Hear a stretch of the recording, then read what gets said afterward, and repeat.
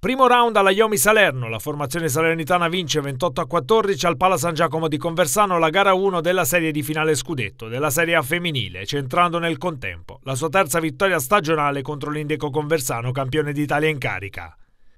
Potenzialmente il successo più importante perché il team allenato da Salvo Cardaci ha ora in mano il match point che potrebbe chiudere i giochi già domenica prossima in gara 2 alla Pala Palumbo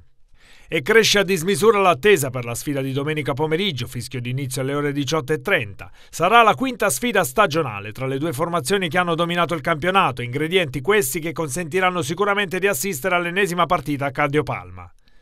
I numeri parlano di una Yomi stellare che ha conquistato in campionato 29 vittorie su 29 partite disputate, miglior difesa del torneo con una media di appena 19 reti subite a partita e storico record di imbattibilità in campionato battuto con questa striscia di successi che di fatto ha cancellato quello del Cassano Magnago degli anni d'oro. E come se non bastasse, la Yomi è stata capace di espugnare il campo di Conversano che risultava inviolato dal lontano 2012.